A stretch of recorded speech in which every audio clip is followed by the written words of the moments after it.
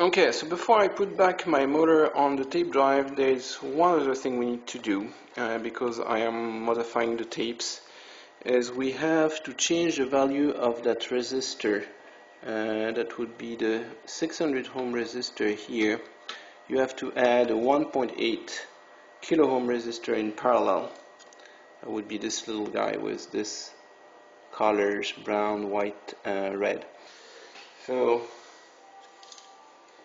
over here.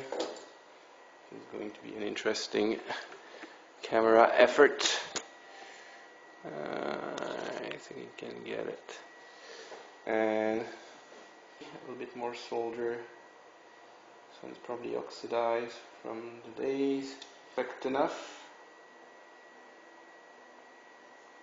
There you go. That's perfect enough for me and then I'm going to do last bit of solder. There you go. So uh, motor is back in, the sensor is back in, the plug is back in.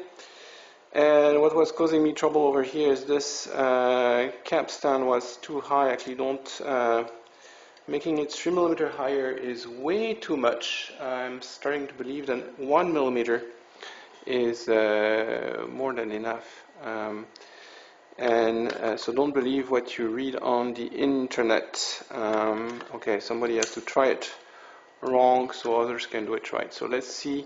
This is my DC tape, and if I do that, that would go better. This is my DC 2000, the QIC, the QIC 40 tape, right? And let's see. Yeah, beautiful. I don't know if you can see it, but it gets it perfectly smack in the middle.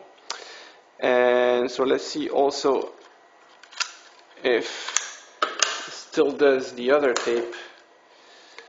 And it should, right? Because this is just bigger, right? So yeah, so the other tape has, of course, no problem. It just, I don't know if you can see where the contact is, uh, difficultly.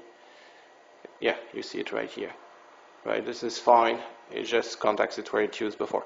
So um, I can now hopefully read the original tapes, which don't work, and the, uh, the, the, the, the, recent uh, 3M QIC tapes or DC 2000s, which work. There you go. Well, we'll see if that works in a second.